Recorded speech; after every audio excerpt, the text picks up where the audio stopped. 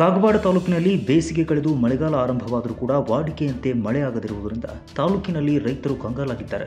ತಾವು ಬೆಳೆದ ಬೆಳೆ ಕಣ್ಣೆದುರೇ ಹಾಳಾಗುವುದನ್ನು ನೋಡಲಾಗದೆ ಅಧಿಕಾರಿಗಳೇ ಕಾಲುವೆಗೆ ನೀರು ಬಿಡಿ, ಇಲ್ಲಿ ಸ್ವಲ್ಪ ವಿಷ ಕೊಟ್ಟು ಬಿಡಿ ಅಂತ ಕೌಲಗುಡ್ಡು ಹಾಗೂ ಸಿದ್ದೇಗೌಡ ಗ್ರಾಮಸ್ಥರು ನೀರಾವರಿ ಇಲಾಖೆ ಅಧಿಕಾರಿಗಳ ಮೇಲೆ ಆಕ್ರೋಶ ವ್ಯಕ್ತಪಡಿಸಿದ್ದಾರೆ.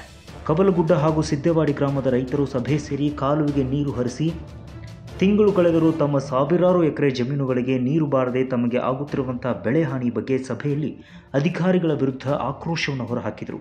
ಈ ವೇಳೆ ಮಾತನಾಡಿದ ರೈತ ಮುಖಂಡ ರಾಜು ಮಾನಗಾಮಿ ಮಾತನಾಡಿ, ಈ ಭಾಗದಲ್ಲಿ ಐನಾಪುರ ಗೀತ ನೀರಾವರಿ ಯೋಜನೆಯಾಗಿ ರೈತರು ಜಮೀನು ನೀಡಿ ಕಾಲುವೆ ನಿರ್ಮಾಣವಾಗಿ ಇಲ್ಲಿವರೆಗೆ ಸುಮಾರು ಹತ್ತು ವರ್ಷ ಕಳೆದರೂ ಒಂದು ಬಾರಿ ನಮ್ಮ ಕಾಲುವೆಗೆ ನೀರು ಹರಿದಿಲ್ಲ, ಕಾಲುವೆಗೆ ಜಮೀನು ನೀಡಿದ್ದು ಇತ್ತ ಜಮೀನು ಇಲ್ಲ, ನೀರು ಇಲ್ಲ, ಸಕಾಲಕ್ಕೆ ಮಳೆಯೂ ಆಗದಿರುವುದರಿಂದ ನಮ್ಮ ಸಾವಿರಾರು ಎಕರೆ ಜಮೀನಿನಲ್ಲಿ ಬೆಳೆದ ಬೆಳೆ ಹಾಳಾಗುತ್ತಿದೆ ಅಂತ ಅಸಮಾಧಾನ ಮತ್ತು ನೋವನ್ನು ತೋಡಿಕೊಂಡಿದ್ದಾರೆ.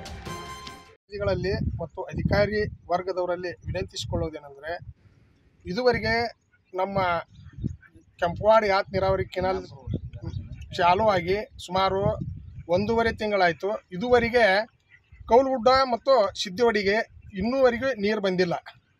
ರೈತರು ಇಲ್ಲಿ ಕುಡಿ ನೀರು ಮತ್ತು ದನಗಳಿಗೆ ಅಭಾವ ಉಂಟಾಗಿದೆ.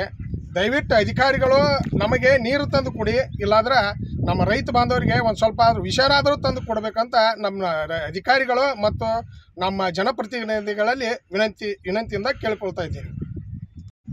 ಕೆಂಪವಾಡಿ ಆಪ್ ನೀರಾವರಿಯ ಈ ಒಂದು ಕಿನಾಲ್ ನೀರ ನಮ್ಮ ಸಿದ್ದೇವಾಡಿ ಹಾಗೂ ಕೌಲಗುಡ್ ಗ್ರಾಮಕ್ಕೆ ಯಾವ ಯಾವ ದೃಷ್ಟಿಯಿಂದ ಏನೈತಿ ಇನ್ನೂವರೆಗೆ ನೀರು ತಲುಪಿಲ್ಲ ಮತ್ತು ಇನ್ನೂವರೆಗೆ ಯಾವ ಅಧಿಕಾರಿಗಳು ಸಹಿತ ಇಲ್ಲಿ ಭೇಟಿ ಕೊಟ್ಟಿಲ್ಲ, ನೀರು ಯಾಕೆ ಬಂದಿಲ್ಲ ಅಂತೇಳಿ ಈಗಾಗಲೇ ರೈತರೆಲ್ಲರೂ ಬೆಳೆ ಬೆಳೆ ಮಾಡಿಲ್ಲ ಅನ್ನತಿ ಹಾಳಾಗ್ಯಾವೆಲ್ಲ ಬೆಳೆ, ಬಂದೆಲ್ಲ ಬೆಳೆ, ಬಂದ ಬೆಳೆ ಎಲ್ಲ ಇವಾಗೆಲ್ಲ ನೀರಿಲ್ಲದೆ ಎಲ್ಲ ಒಣಗಿ ಹೋಗ್ತಾ ಇದ್ದಾವೆ. ಪ್ರತಿ ವರ್ಷ ಇದೇ ಹಾಡಿದೆ ನಮ್ಮದು ಐದಾರು ವರ್ಷ ಅಥವಾ